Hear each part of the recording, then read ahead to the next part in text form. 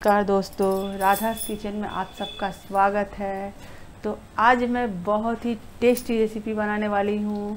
बिहार की special recipe, अरहर दाल की खिचड़ी और आलू का चोखा और माँ के हाथ का आम का अचार। दोस्तों, ये बहुत ही टेस्टी रेसिपी बनने वाली है।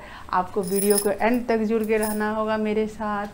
तो दोस्तों, इसके लिए मुझे चाहिए चावल, दाल, अरहर की दाल आलू, ये सारी सामग्रियाँ जो हमारे घर में हमेशा ही रहती है तो क्यों ना हम लोग अपने गाँव की याद को फिर से ताज़ा करें दोस्तों। तो मैं आज ये बनाने वाली हूँ। तो चलिए दोस्तों, वीडियो में यदि आप नए हैं तो चैनल को लाइक, सब्सक्राइब करना ना भूलें। तो दोस्तों, चलिए मेरे साथ मेरे किचन में तो क्या क्या चाहिए मैं आपको दिखाती हूँ, और मेरे साथ बने रहिए इस वीडियो में। तो दोस्तों, मेरे, मेरी मेरी पैन गरम हो चुकी है, अब मैं इसमें अरहर दाल को भूनूँगी।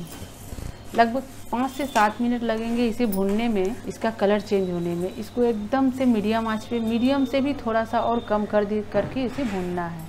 तो दोस्तों, मेरी दाल इधर भून चुकी है। अब मैंने ले लिया एक पतीला उस उसमें मैं दाल को डाल रही हूँ। उसके बाद ऊपर से मैं चावल डाल रही हूँ। इस दाल और चावल को मुझे धोना है। ठंडे पानी से, साफ़ पानी से मैं धो रही हूँ इसे। दो बार इसको वॉश करूँगी।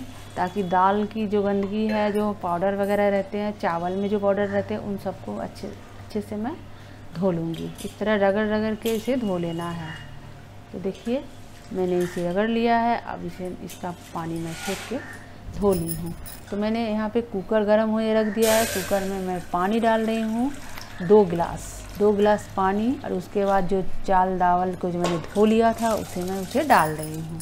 उसके बाद नमक और आधा चम्मच हल्दी पाउडर। अब कुकर का ढक्कन में लगा रही हूँ। इसे दो सीटी होने तक मैं इसे पकाऊँगी। तो दोस्तों, इधर कुक, इधर जो है ये दो सीटी हो चुके हैं। अब मैं, मैंने एक पैन ले लिया है नॉन स्टिक आप चाहे तो कुछ भी यूज़ कर सकते हैं। तो मैंने ये पैन मेरी, देखिए, गर्म हो चुकी है और उसमें मैं दो चम्मच तेल डाली हूँ। आधा छोटा चम्मच जीरा और दो सूखी लाल मिर्च। जब तक जीरा मेरी चटक रही है, तब तक मैं इधर की सामग्री देखिए, आपको मैं दिखा रही हूँ क्या क्या मैं और डालने वाली हूँ। ये है अदरक, इसे भी मैं डाल रही हूँ। इसे मैंने बारीक काट लिया है और लहसुन और हरी मिर्ची जो है, उसका मैंने बीच से चीरा लगा लिया है। इन सबको आधा मिनट तक भूनना है। ब्राउन होने तक। उसके बाद इसमें प्याज जिसे मैंने लंबे लंबे काट लिए है। इसे मैंने बारीक नहीं काटे हैं दोस्तों।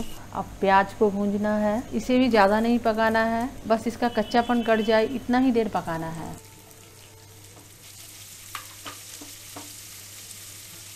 आपको ध्यान रखना होगा। देखिए इसे कच्चापन कट गया है। अब मैं अब मैं इसमें डालूँगी टमाटर। अब इसे अच्छे से मिला के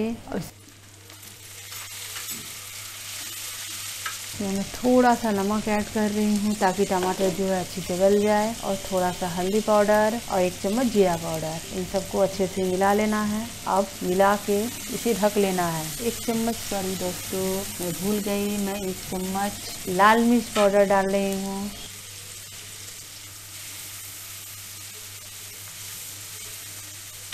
इसके बाद मैं इसमें ढक्कन लगाऊँगी। तो दोस्तों, ढक्कन मैंने इसलिए लगाया कि ताकि हमारी जो टमाटर है वो अच्छे से गल जाए।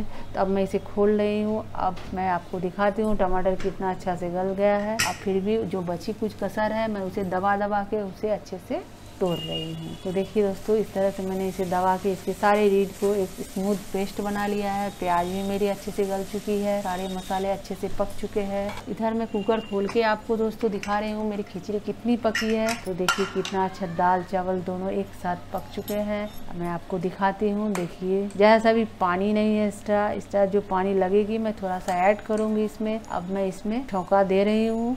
मैं इसी कढ़ाई में इस खिचड़ी को मिलाऊँगी और थोड़ा सा पानी भी ऐड करूँगी क्योंकि खिचड़ी जो है दोस्तों, ये गीली ही अच्छी लगती है और सूखा सूखा खिचड़ी जो है उतना अच्छा नहीं लगता है तो इसमें थोड़ा सा मैं पानी ऐड करूँगी। तो सारी खिचड़ियों को इसमें डाल के तरह से सारे मसालों के साथ मिला लेना है। तो देखिए दोस्तों कि पूरे अच्छे तरह से मैंने इसको मिला लिया है। मैंने बोला था थोड़ा सा मैं पानी ऐड करूँगी तो मैं पानी दिखाई नहीं पर मैंने इसमें थोड़ा सा पानी ऐड किया है। एकदम थोड़ा सा आधा कप के मान तो देखिए दोस्तों ये पानी भी उबल चुकी है। हाँ। पानी भी देख लीजिए कि दिख रहा है ना कि उबल चुकी है। अब मैं इसमें एक चम्मच घी डाल रही हूँ। अरहर की दाल के साथ जो घी का कॉम्बिनेशन है बहुत ही टेस्टी होता है अमेजिंग होता है दोस्तों। गाँव में माँ इसी तरह से खिचड़ी बनाया करती थी। अब मैं शहरों में उसी याद को फिर से आज ताज़ा करके आप सबके साथ शेयर कर रही हूँ।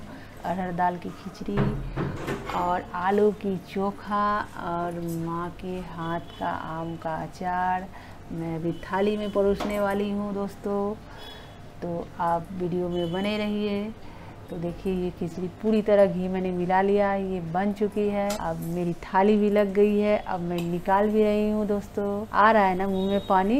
तो आ, देखिए कितना अच्छा बना है। ना ही गीला है, ना ही ज़्यादा सख्त है खिचड़ी। तो देखिए दोस्तों, मैंने ये बना लिया है और सलाद भी मैंने काट लिया है और ये अचार जो है मेरे मम्मी ने बनाया है। मैं उसे ही को दिखा रही हूँ। बहुत ही टेस्टी है दोस्तों, ये अचार। पापड़ को मैंने सेक लिया है, तेल में नहीं तला है। तो ये थाली थाली जो है बहुत ही हेल्दी थाली है दोस्तों, आपको पसंद आई आई होगी। आपको यदि पसंद आई होगी तो वीडियो को लाइक सब्सक्राइब करना ना भूलें। मिलते हैं दोस्तों और एक नई रेसिपी के साथ नए वीडियो में।